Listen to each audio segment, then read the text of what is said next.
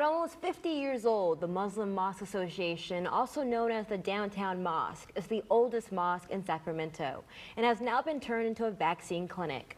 Dr. Arif Sayal is supervising the Shifa Community Clinic and says this vaccine site is unique because it focuses on getting the shot to those who may be afraid to go to the doctor or have a language barrier. Usually the minorities who come over here are um, uh, the Afghan community, Uh, mostly the refugees, the Arab Syrian community. Hadia Lal Gol is a student at UC Davis and director of the clinic and says volunteers usually go into the city of Sacramento and sign up people at supermarkets, community centers, or knock on doors of homes. But for today's clinic, they slowly use the state's My Turn website for people to book an appointment. It really shows that My Turn, although it is a standard that we want uh, California to use, but it's not working for the communities that we truly, truly need it. Volunteers tell me on a Saturday where they use community outreach to book appointments, they will have 400 patients. But this Saturday, they used the state's My Turn website and only had 100 patients.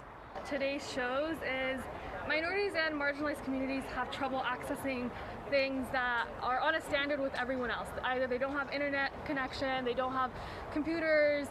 Mayor Darrell Steinberg came to the clinic to discuss how the city could help recruit more patients. When asked about the disadvantages of My Turn for minority communities, he says more needs to be done to help people navigate the site. People are getting vaccinated through My Turn, but I, I think the message is My Turn is not enough.